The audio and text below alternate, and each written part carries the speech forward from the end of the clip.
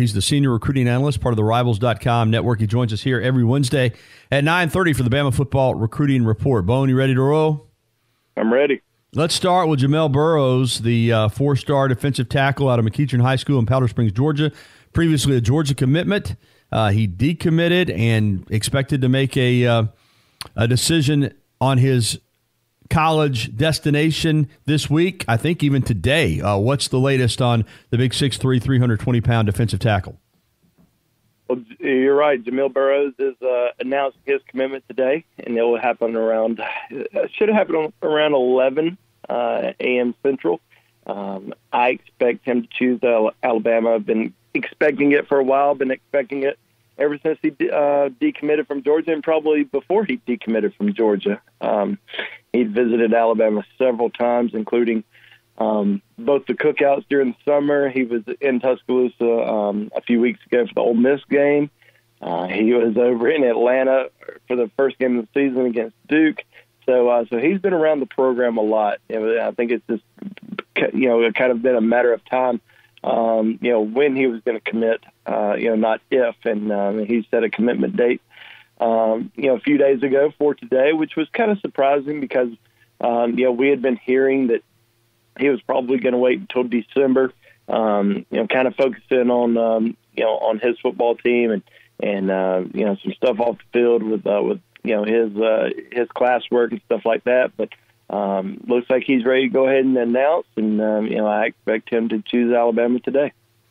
You know he's an outstanding prospect, and certainly it's a big pickup for Alabama uh, even in this new age of spread football and throwing the ball so much, you still just can't get enough defensive linemen. You got to have them if you're going to be a championship caliber program. So it's a big pickup if indeed he does choose Alabama. But there is concern, I understand, still about Tim Smith, another outstanding defensive uh, lineman that's committed to Alabama from down in the uh, Sebastian River in Florida. The problem there is Florida has really gained some some leverage with Smith. Uh, how do you feel about him sticking with, with Alabama, or do you feel like Florida is really a, a serious threat here to flip him? Yeah, I think uh, I think he's definitely one to kind of watch out for um, in, in terms of his interest in Florida. He's been to Gainesville, I think, three times uh, since his commitment to Alabama, and um, you know, hasn't been back up to Tuscaloosa. Now, uh, a little bit tougher to get to uh, to Tuscaloosa uh, than Gainesville from uh, Sebastian River in Florida. Uh, but he will make it a return visit up to Tuscaloosa uh, for an official visit. You know, not not sure exactly when he's going to take that visit just yet, but you know, I would expect him back in Tuscaloosa at least one one time during this football season, and may take the official after the season. But uh, you know, Florida's really turned up the heat on him. Uh, you know, he's been a top priority for them for a very long time, and Alabama just has to continue to um, you know recruit him as if he's not committed. Um, you know that's what you got to do um, with a lot of these uh, kids who are committed. Uh, with them taking official visits elsewhere and, and getting heavy interest, you know you never want, really want to slack on on uh, you know the kids that you really want, the kids that you really feel like can make a difference because you, you definitely don't want to don't want to lose them. And Alabama's got a really good defensive line class, but um, you know they want to they want to make it better. They need to get more numbers. There's still um, you know a few guys out there that they're heavily recruiting, and you know Timothy Smith is um, you know definitely a, uh, a centerpiece of this recruiting class, and they don't uh, on the defensive line, and uh, and they don't want to lose his commitment. What's your gut telling you? And I and I know that's a tough question because you you follow this based on information, but you've done it so long. You you you have a feel. I know an innate feel for what you think will happen with a prospect? When it's all said and done, you think Smith winds up at Alabama or Florida? Ooh, that's tough. Um, I mean, I, I would be very wary of, of Florida right now because, and I know there's some that out that are out there that are saying, "Oh, there's nothing to worry about. He's just enjoying the process." Well, you, you don't enjoy the process and, and make multiple trips um, down to one school as opposed to the school that you're committed to if you're not strongly interested in that program. You're you're not you're not a top program now.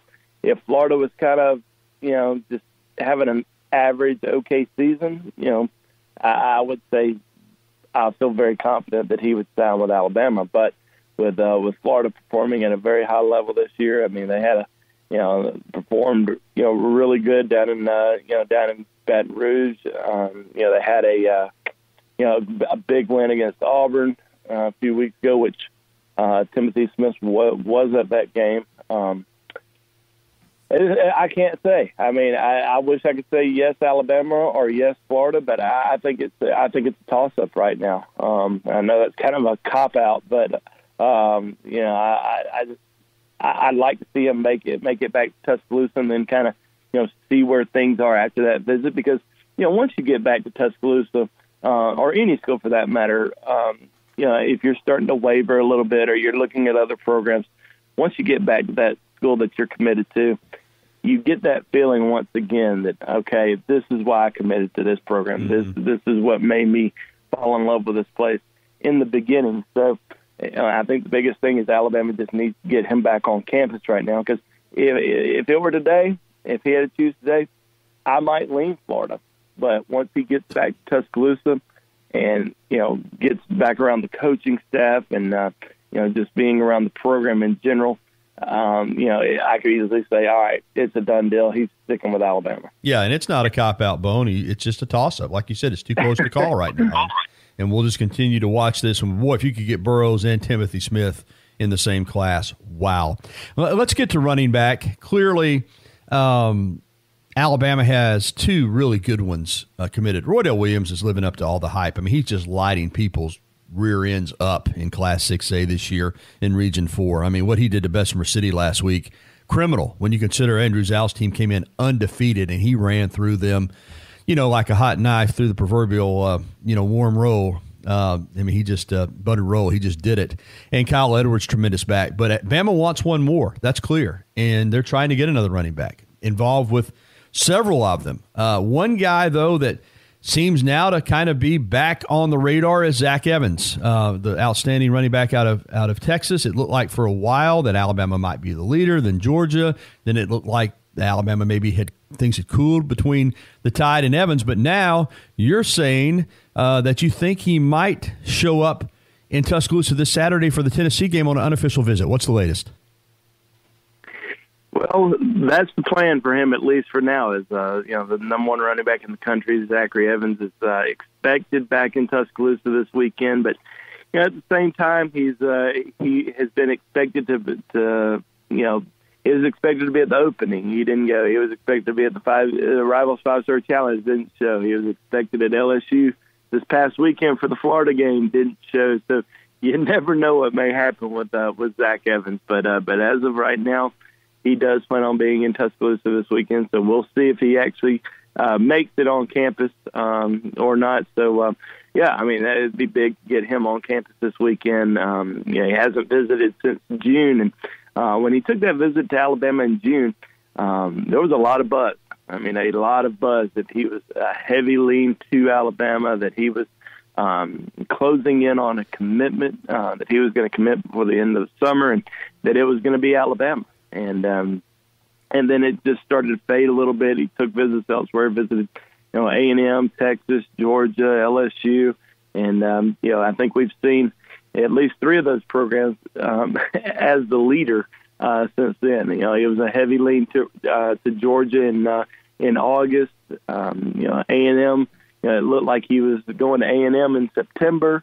Um, you know, LSU is starting to get a little bit of buzz uh, right now. Of course, Alabama's still right there in the thick of things. So, um, you know, he's another kid who's a uh, you know complete toss up as to what he will do. And and I've said this for a long time. I've said I would not want to be the the school that gets his commitment first because um, unless it's on signing day when he signs, um, because I think he's um, you know, he's just kind of unsure of, of what he wants to do. If he commits, I think he's still going to take all five of his official visits um, and, and still get recruited by by all the schools that are out there that are that are still heavily pursuing him. So we'll see if he makes it to campus this weekend. But it would be big for uh, for him to him to visit and you know get back around the coaching staff and and see a lot of uh, people that he knows.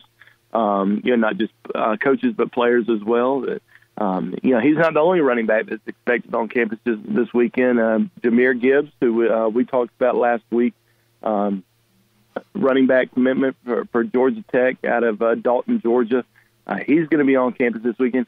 I'd I'd be very uh, you know very interested to see what happens with him this weekend as far as an offer goes. I, I think there's a good chance that um, if he makes it to Tuscaloosa, um, that he could get an offer from Alabama. Having a unbelievable uh, senior season, and um, you know definitely someone that uh, has been on Alabama's radar for the last uh, month or so, and um, and I could potentially see him getting an offer this weekend.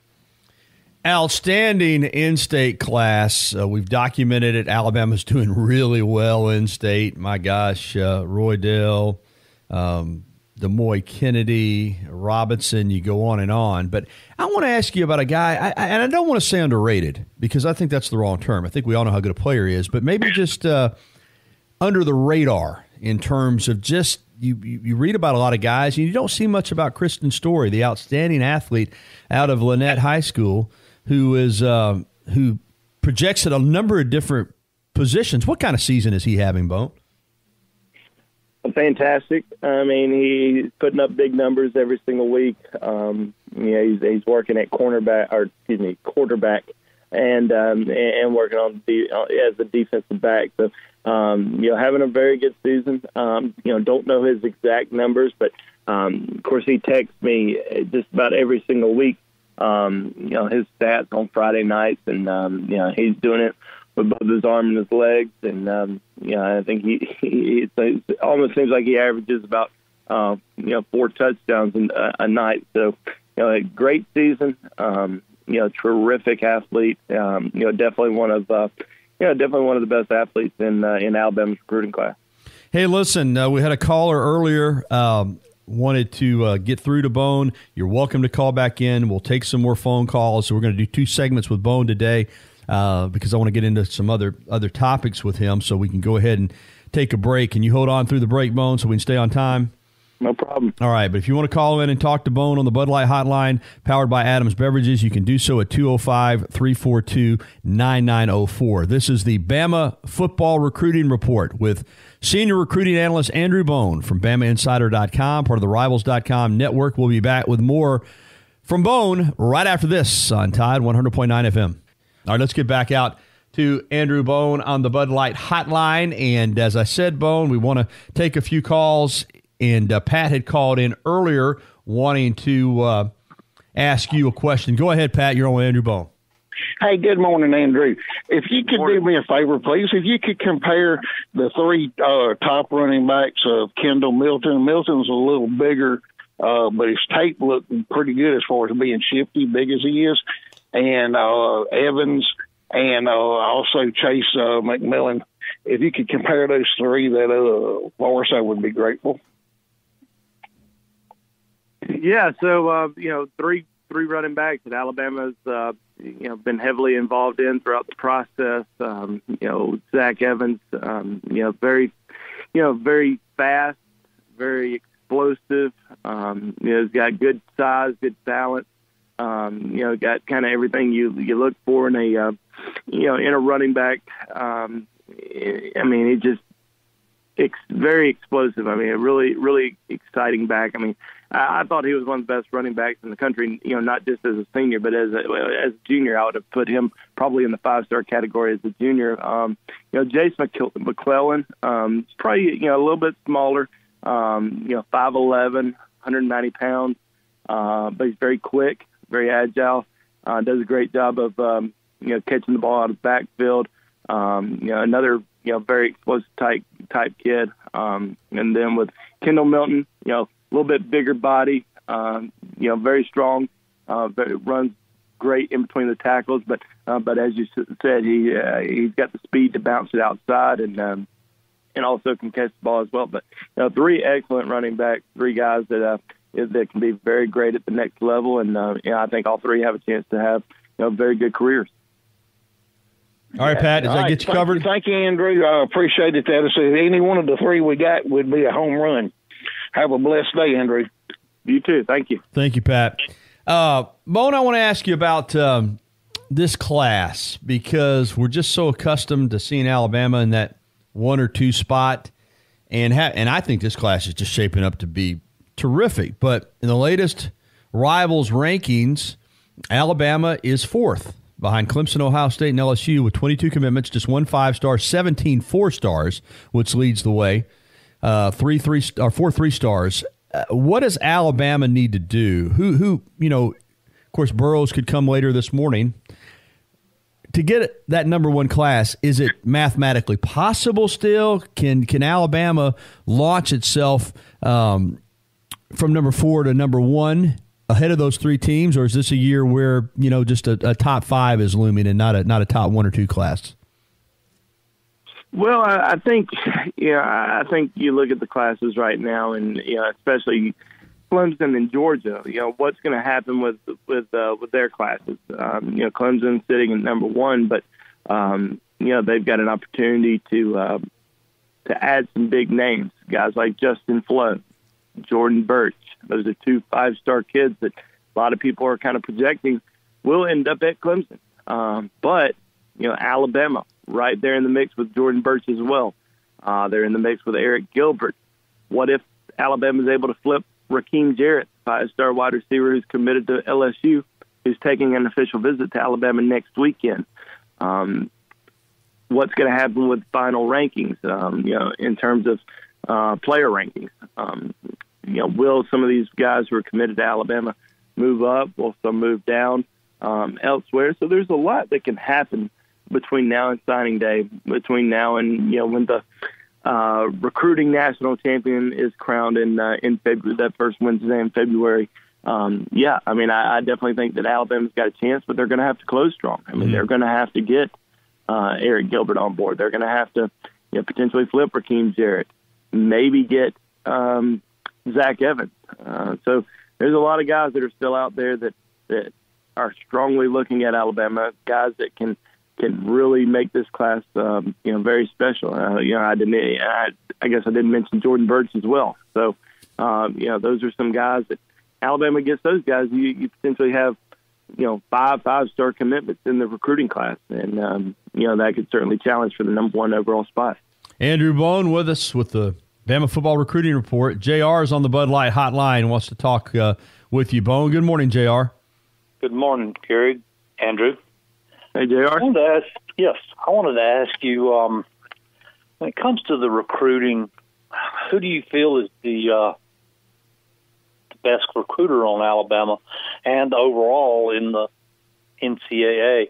But before I, you can answer that, also I wanted to know what do you feel like is the best tool for the uh, recruiting? Is it the facilities, the coaches, the track record, the girls? What? All right, Jr. Good question. Uh, let's good questions. Let's start with the best recruiter on Bama staff. Bone. Uh, it's a good question. Who do you think it is? Man, there's a uh, you know I, I would probably you know I, I, I'd lean probably Sal Sunseri. I mean, I, I think he's yeah, he's hard to beat. Unbelievable. I mean, I really do. I think he's unbelievable. I mean, Alabama's got some great recruiters on the staff. There, there's no doubt about it. But but Sal, the way that he builds relationships with prospects, and you know, I always go back to Quandarius Robinson, um, number one player in the state, um, who committed to Alabama. Um, you know, I always heard it was going to be very hard to say no to Alabama because of Sal Sunseri. Um, and he just has built a tremendous relationship with a lot of these uh, top recruits. I think he does a great job. I mean, he helped land Demouy Kennedy as well. So, um, you know, getting you know the two top two players in the state of Alabama this year, um, which you know some people may say, oh, that's that's easy to do because you're in state and uh, it's Alabama. But you know, you got to think both those kids were committed to Auburn. Demouy Kennedy and Quandarius Robinson were both committed to Auburn. So being able to, uh, you know, get those guys on board, I, I think Sal Sunseri certainly has, um, you know, built a strong reputation in Tuscaloosa this year.